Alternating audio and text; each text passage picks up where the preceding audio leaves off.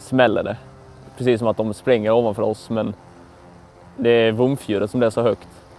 Och då så bara samma veva så försvinner kompisarna. De som är.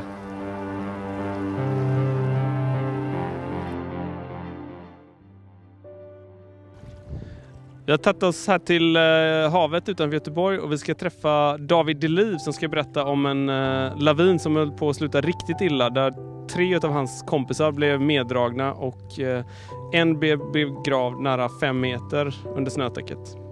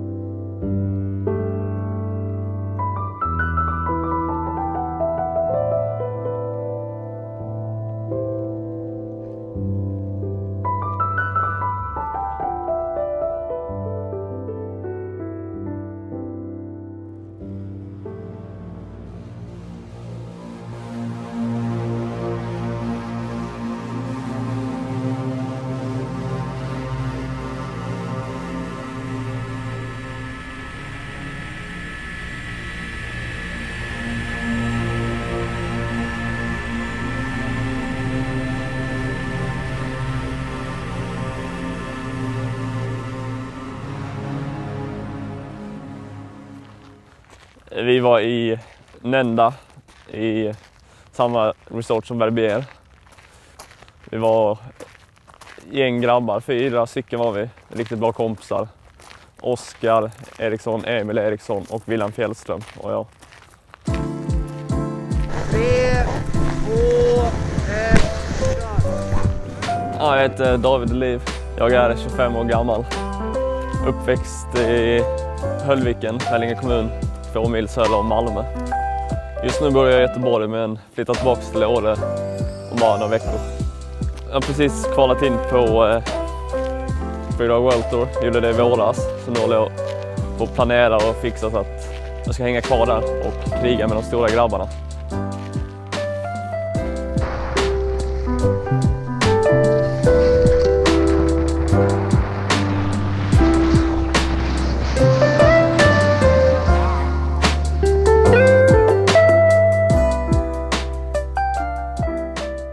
Dagen innan så såg vi att det började snöa och det skulle bli ett av de större dumpen på säsongen. Så vi gjorde oss redo. Vi la oss ganska tidigt, vaknade tidigt, tog på oss grejerna och tänkte bara, tänkte inte längre än att vi ska upp och vara först, först i liften. Och så, ja, som, som ganska vanligt på eh, Pudemålen så öppnade de inte allting på en gång utan vi tog några laps i under skogen, under liftarna och ja, fick eh, bra åk. Och, men vi var fortfarande sugna på att komma åt mer, mer orört och det var mindre folk. Och vi började så småningom under dagen så öppnade de upp och vi skulle till ett ställe där vi hade åkt bara några dagar innan. Och ja, vi försökte vara så snabba som möjligt på att komma dit. Det var de första som var på väg dit så vi la spåren men vi tänkte att vi skulle, skulle vara smartare och lite effektivare. Så, istället för att staka över en platt skulle vi lägga en hög skrå under ett stort berg. Men ja, vi tänkte inte på riskerna. Vad som var ovanför oss då, det enda vi såg var åket vi skulle ha när vi väl tagit oss fram.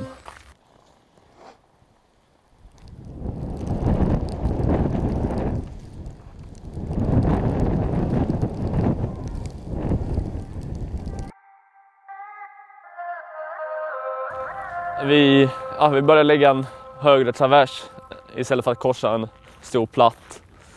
Jag låg längst fram men kände att nej, nu vill jag lägga mig längre bak så jag kan hålla lite avstånd och få lite koll över hela. Och eh, samtidigt som det så märker jag mina kompisar en bit längre fram fastna på en snödriva.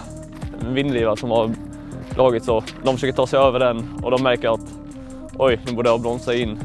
Så jag hittade en ganska halvstor klippa jag kunde ställa mig bakom.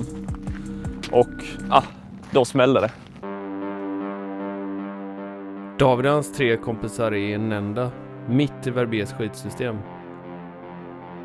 De lägger traversen under det stora berget Mount Gond och sikten är riktigt dålig. De ser ungefär bara 30-40 meter framför sig. David får en dålig känsla och väntar lite och ställer sig under en stor klippa. Då hörs en jättestor smäll. Emil, William, Oskar dras med i snömassorna. David står ensam kvar när snöröken lägger sig och tystnaden kommer.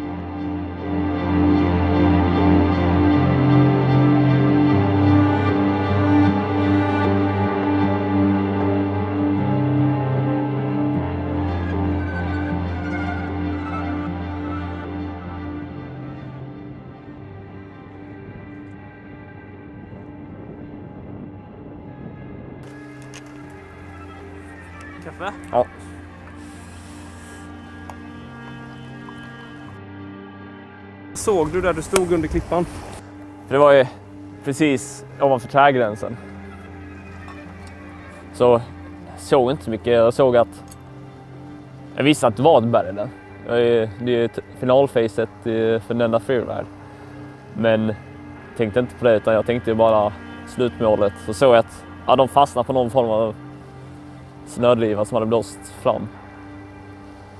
Och såg inte mer än 30 meter framför. Så det var det som blev så läskigt för det kom ju som ett ljud, alltså vumfljudet blev som... Det var så högt så det lät som att, eh, det lät som att de sprängde ovanför oss. Och så bara hörde man, bara, man hör ju bom, alltså, att de springer ganska ofta i bergen men det där var så högt och bara... Jag var orolig vad det är ifrån, började kolla sig, sig omkring. Och sen eh, började kolla och sen bara ser man hur mina kompisar dras med och försöker åka ut samtidigt.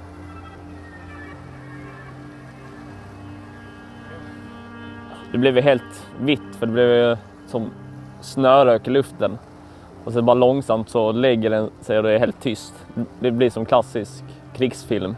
Att när, allt, eh, när folk har slutat skjuta var det tyst och så hör jag Emil ropa efter oss.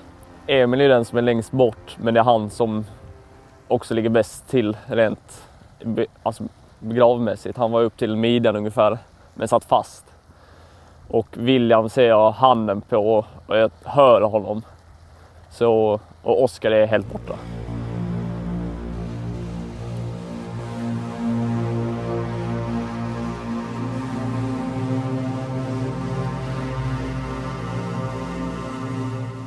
Så hör jag Emil skrika eller ropa, ropa efter oss. Och ja, sen han, svarar han och sen hittar jag William ganska snabbt. Men Oskar är den som är borta. Och eh, redan då börjar man få panik och tänka, eller det börjar, inte panik men det börjar, tankarna börjar gå. Jag måste hitta Oskar, måste hitta Oskar.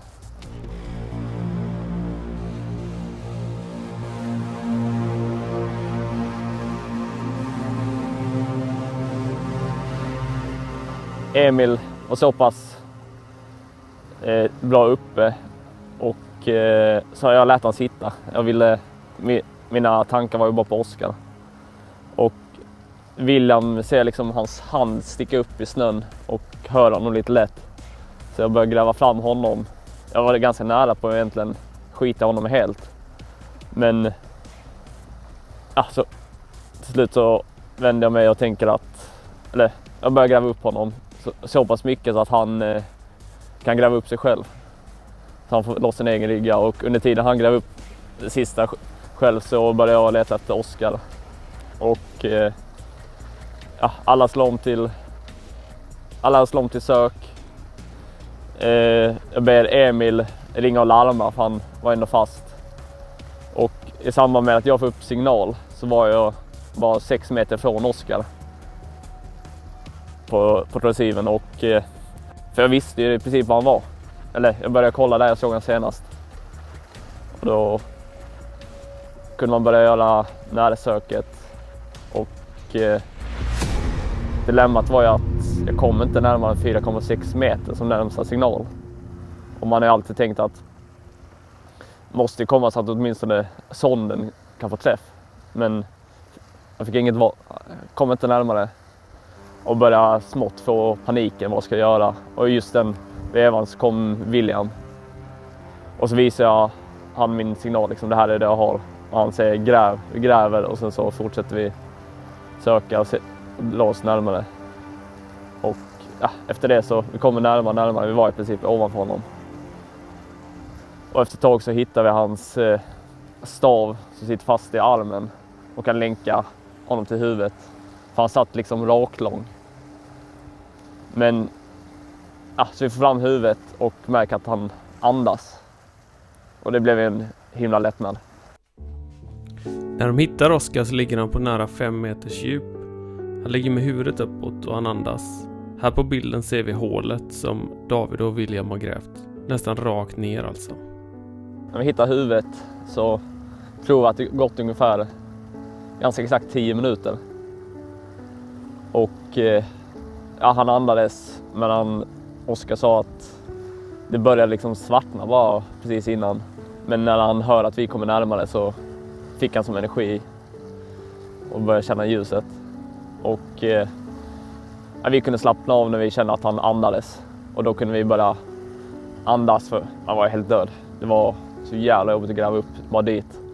Och sen successivt började vi gräva lite lugnare för att få lös honom. För problemet med hur vi var tvungna att gräva var att det var helt platt där de satt. Det var som en terrängfälla.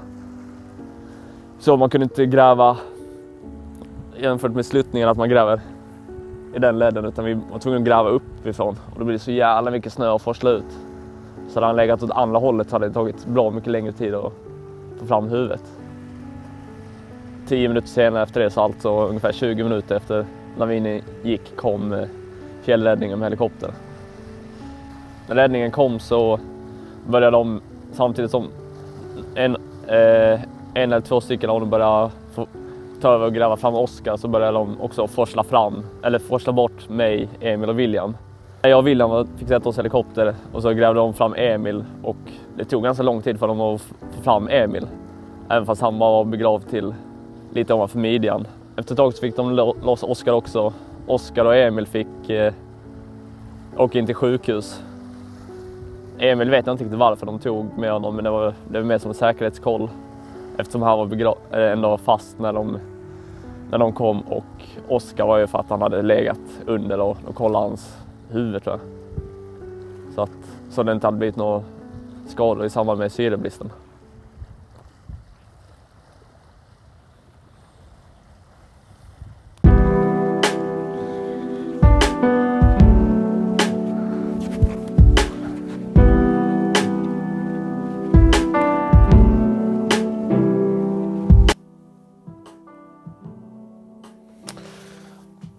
Vad säger man? Det är en eh, skakande berättelse och eh, det känns ju som att det hade lika väl kunnat sluta med att eh, David och två kompisar hade kommit hem vid liv och att de hade behövt ringa och berätta att en av kompisarna hade strukit med. Ehm, jag tänkte att vi ska ändå ta tillvara på det här tillfället och, och, ringa en lavinexpert. Jag tänkte ringa till Stefan Lundin som sitter uppe i Kittelfjäll. Han jobbar med lavinprognoser.se och eh, utbildar också inom Sveriges lavinutbildningar de här eh, friåkningskurserna som är till för skidåkare. Och så ska vi prata lite med Stefan om eh, den här situationen och se vad han drar för slutsatser. Det bästa hade ju såklart varit om man kunde backa bandet och eh, att David och hans kompisar inte hade varit med i den här lavinen. Det är ju fullständigt omöjligt. Men vi ska ändå försöka se om det finns några nycklar som kanske vi andra som ser det här kan ta med oss ut. Eh, vi ringer upp Stefan helt enkelt och ser vad han har att säga.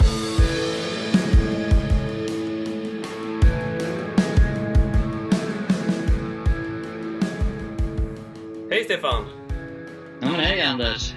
Du, eh, kort, vem är du för de som inte känner dig? Ja, jag heter Stefan Lundin och jag bor i Kittelfjäll. Jag har åkt skidor och snowboard sen, ja, sedan jag var väldigt liten.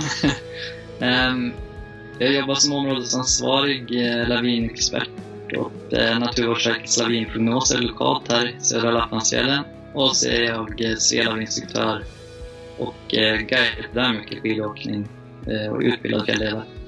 Det var väl bortom mig. Mm, härligt. Du, du har också kikat på den här filmen nu om David Deliv och hans tre kompisar. Vad, vad tänker du? Vad är din spontana tanke efter att du har sett den här filmen?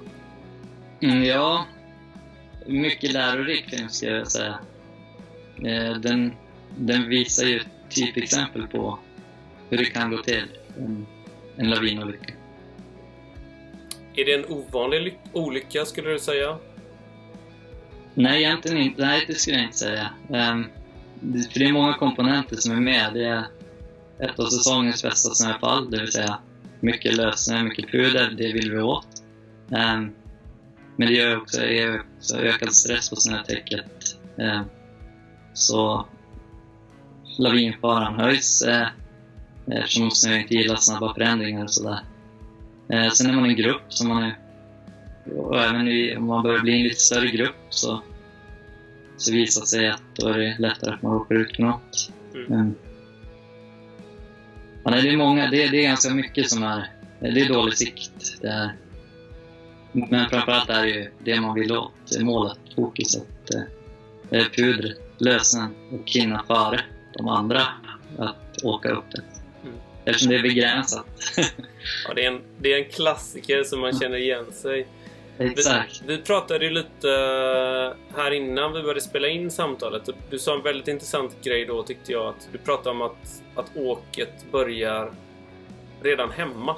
Berätta lite om det. Hur tänker du där? Att man som skidåkare kan tänka när man ger sig ut?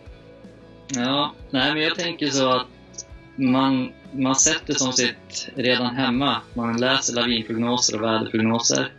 Eh, så man vet vad de lokala prognoserna säger liksom om lavinfara och men även framförallt lavinproblem. Då.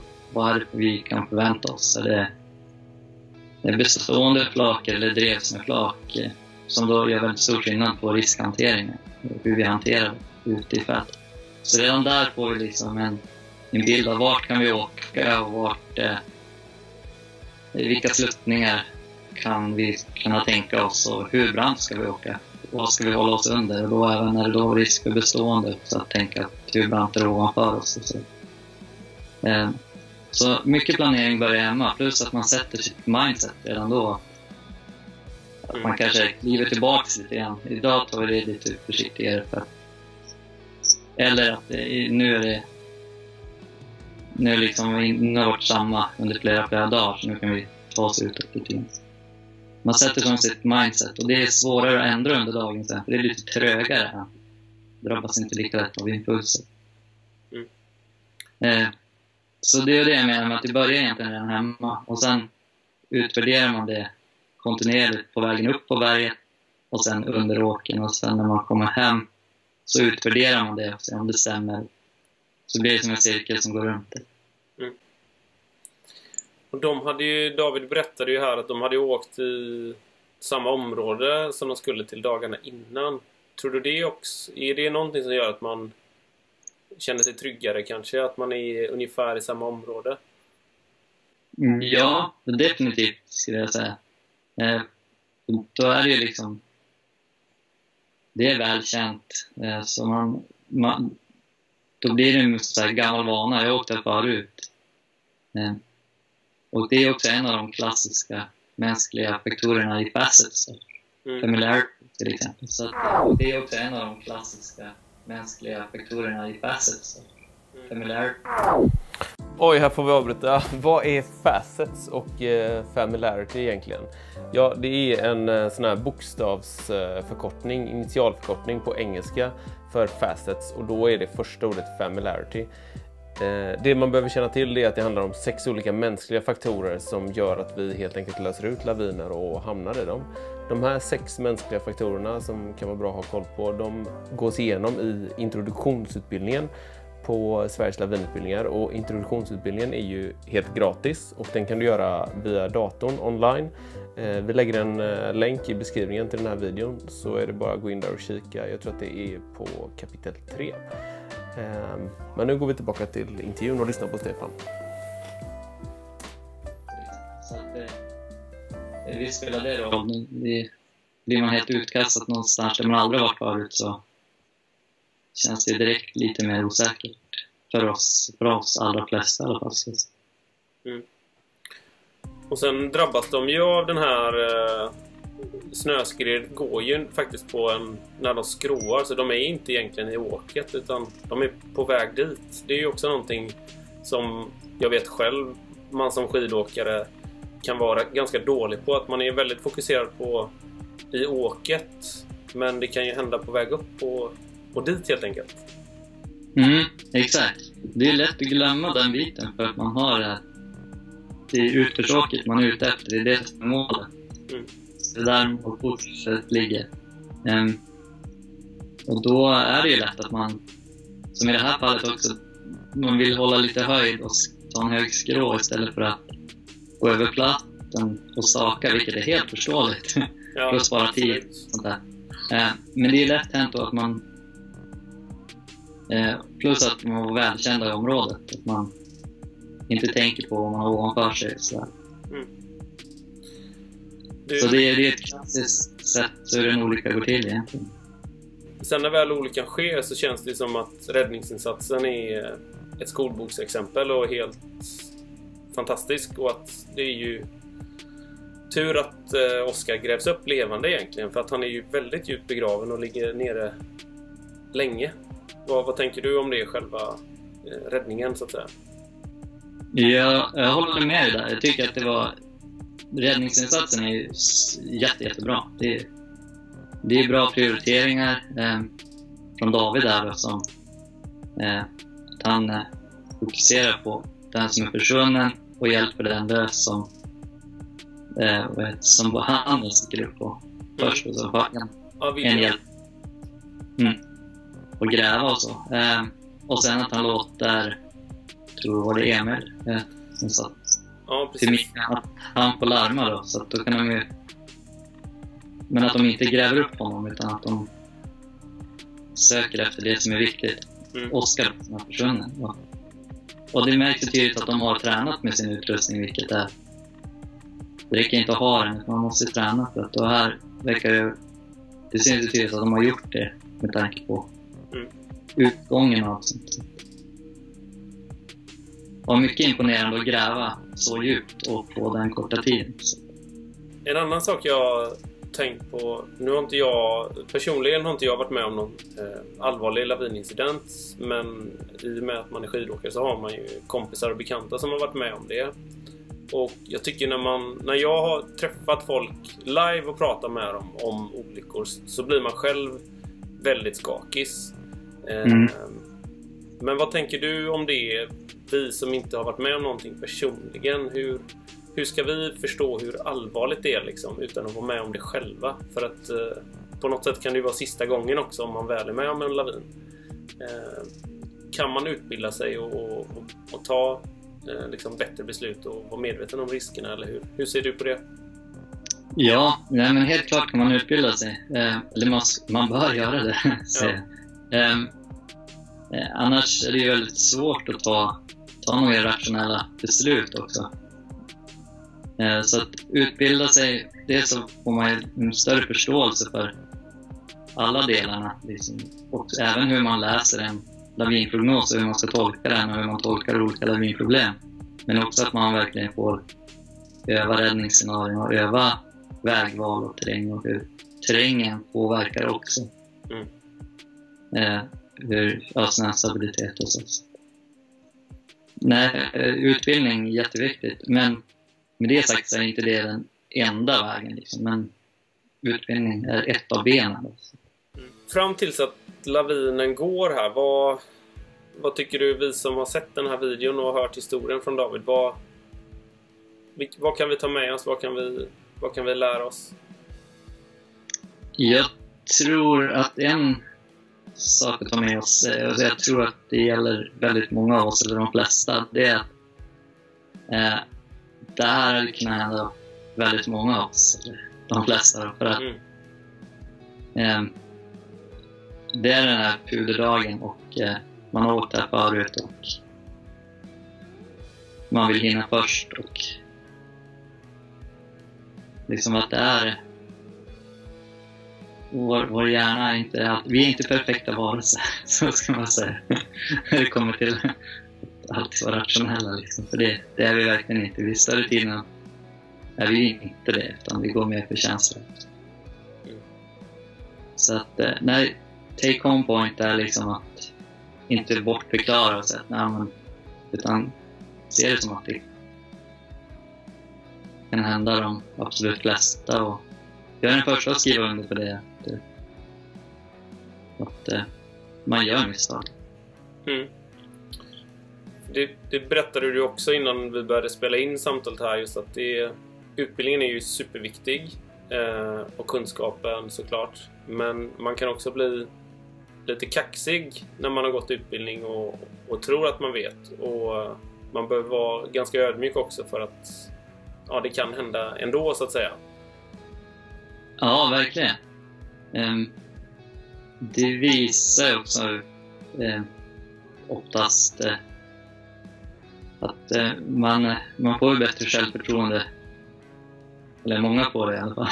Mm. eh, över tid då. Och sen när det händer någonting då, då ramlar man ner i källaren igen och sen går man en till utbildning och sen får man sakta över högre självförtroende igen. Ju längre tid det går mellan någon incident eller något så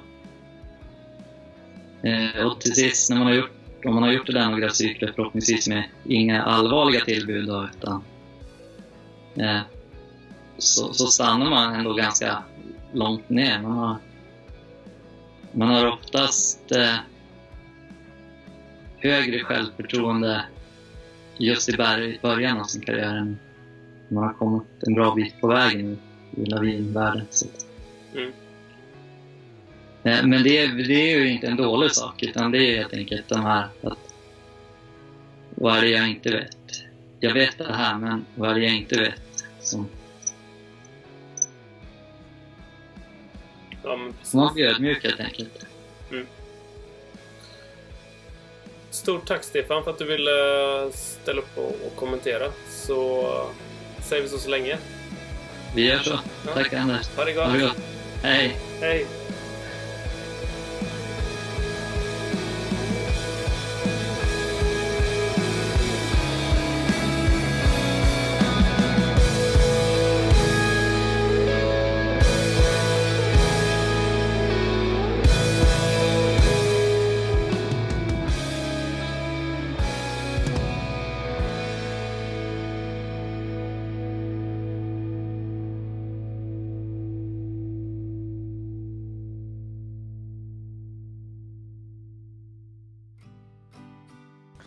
Anledningen till varför det hände var ju för att jag inte lärt oss hur man skulle röra sig i bergen tillräckligt.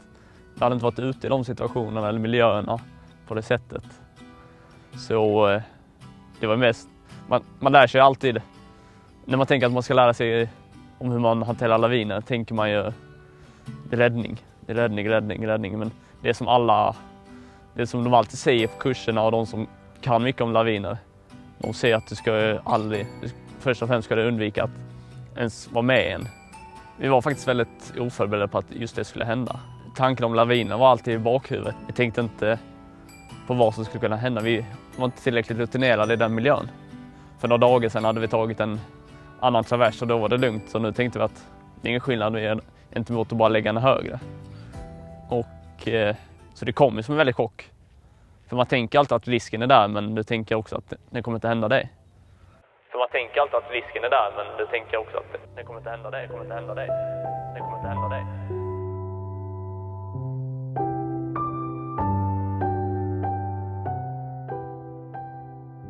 Ja, David, nu har vi pratat lavinolycka här. Ska vi avsluta det här med ett bad eller? Vad har vi för datum? 6 november tror jag. Ja. Nu gör vi det.